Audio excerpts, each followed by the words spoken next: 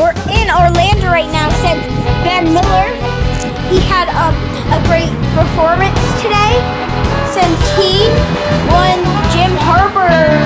Everybody shout out and say good job.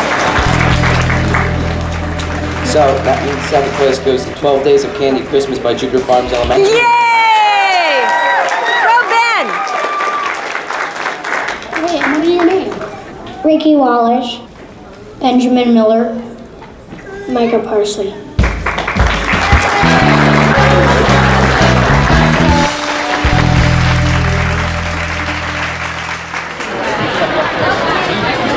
I tried Wyndham and I tried Fate.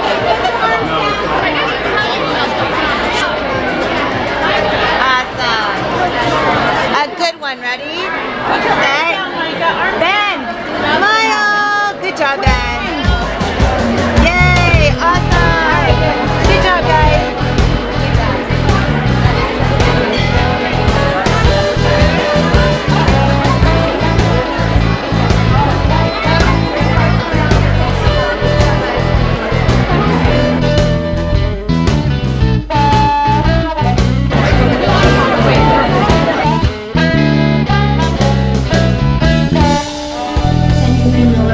He a good filmmaker?